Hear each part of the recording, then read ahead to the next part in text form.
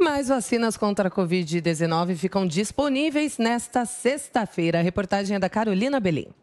A Fundação Oswaldo Cruz entrega hoje para o Plano Nacional de Imunização 5 milhões de doses da vacina de Oxford da AstraZeneca. Essa remessa já deveria ter sido entregue, mas, segundo o diretor de Biomanguinhos, Maurício Zuma, a estratégia foi revista e as entregas serão feitas a partir de agora, semanalmente, sempre às sextas-feiras. Em um seminário promovido pela Fiocruz, o diretor atualizou o cronograma da fundação. Em abril, o total será de 19,8 milhões de doses entregues. Em maio, 21,5 milhões de doses. Em junho, 34,2 milhões de doses. E em julho, 22,1 milhões de doses. Zuma ressaltou que a previsão se mantém se tudo der certo com a chegada da matéria-prima, o IFA.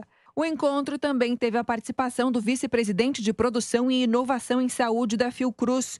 Marco Krieger falou sobre o monitoramento que a fundação tem feito das novas variantes, especialmente a P1, originária de Manaus.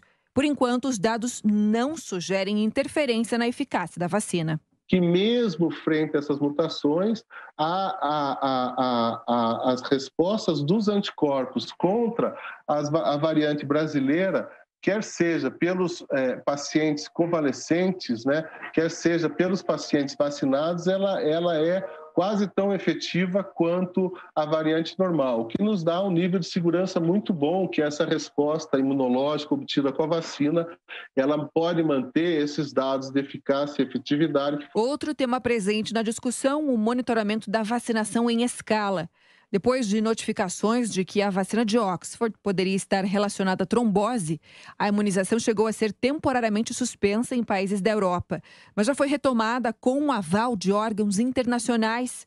A cientista Cristiana Toscano, que é membro do Comitê de Especialistas em Vacinas da Organização Mundial da Saúde, explica que o risco de a vacina causar trombose é de 0,0004% e está relacionada a uma doença específica.